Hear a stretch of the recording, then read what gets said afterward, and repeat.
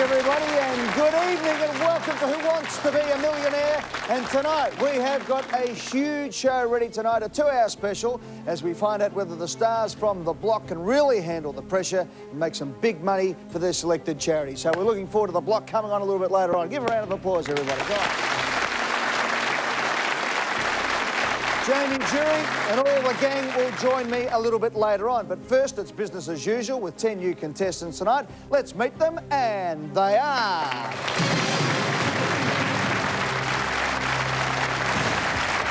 Bob Richard Lowe, software developer, Victoria. Bob Owen, chemist, New South Wales. Jenny Colquhoun, studio operator, ACT. Sassy Samu, teacher, Victoria. John Morgan, real estate agent, Northern Territory. Simon Watt, computer programmer, New Zealand. Nuala Angelopoulos, Mum, Victoria. Craig Jones, Navy chef, WA. Nick Moore, surveyor, Victoria. And Dr. Kim Swan from New South Wales. Okay, pretty intelligent looking lot tonight, I think. Let's get stuck into it right off the bat. Fastest finger first. The first person into the millionaire's hot seat is the person who gets it right, but you have to be the fastest as well. Here comes the question. Good luck to everybody here. Go. Put these letters in order to make the common abbreviation of a modern long-range weapon. A, M, B, I, C, C, D, B. M, I, C, B. Well, everyone was pretty quick with the fingers there.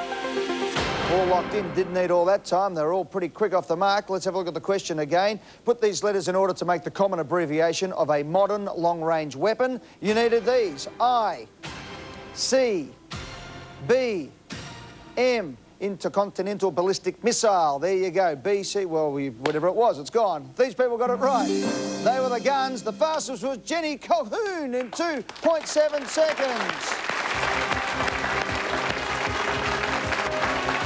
Well done, Jenny.